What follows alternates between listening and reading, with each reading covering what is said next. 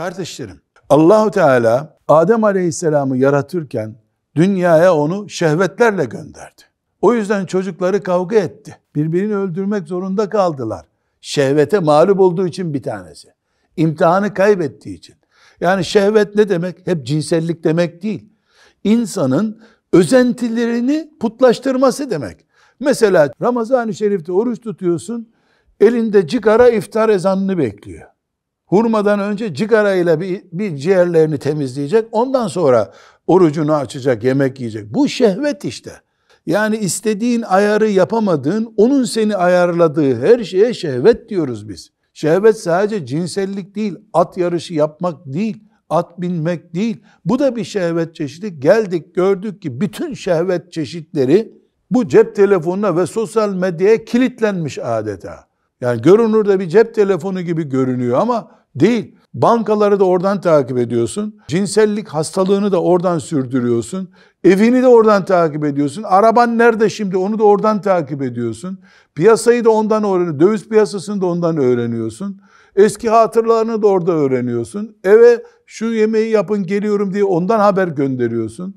İnna lillahi ve inna ileyhi raciun.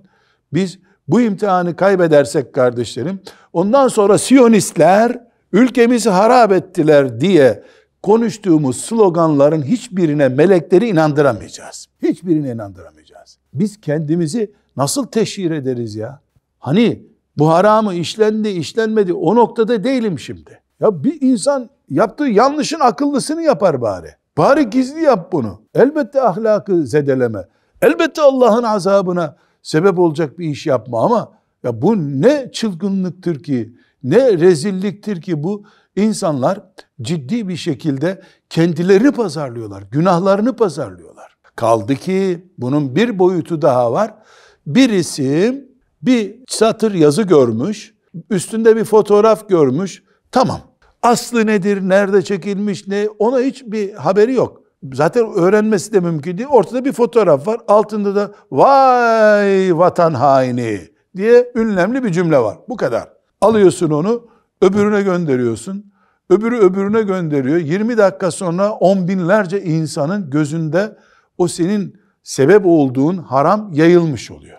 Bunun bu dünyada bir cezası olmayabilir. Allahu Teala'nın kıyametinde de acaba cezası olmayacak mı? Biz devletten, polisten gizleyebildiğimiz şeyleri meleklerden de gizleyebiliyor muyuz? Böyle bir imkanımız mı var? İnsanlığın yaratıldığı günden beri böyle bir imkanı oldu mu? Olabilecek mi? Yüz kere yemin etsem, bütün Kur'an-ı Kerim ayetlerinin her biri üzerine yemin etsem, desem ki, ey mümin kardeşlerim, cep telefonunuzda tuşa basıp indirdiğiniz, birisine gönderdiğiniz, arşivinize aldığınız, kaydettiğiniz her fotoğraf, her cümle milyarlarca kere yemin olsun ki kıyamet günü mahşerde karşınıza konacak. Bu yeminimde bir sorun var mı kardeşler? Boynuzlu ve boynuzsuz olarak koyunları yaratan Allah'tır Celle Celaluhu. Ne boynuzlunun kabahati var ne boynuzsuzun kabahati var.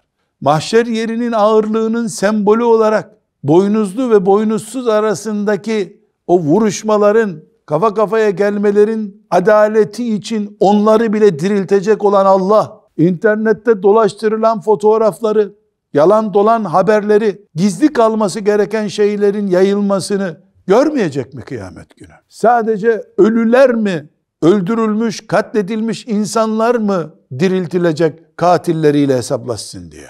Kesinlikle bizim imanımız her fotoğraf karesinin, nokta konmuş her cümlenin, her ünlemin, her soru işaretinin kesinlikle mahşerde karşımıza çıkacağına ait imandır. Ben karışmadım.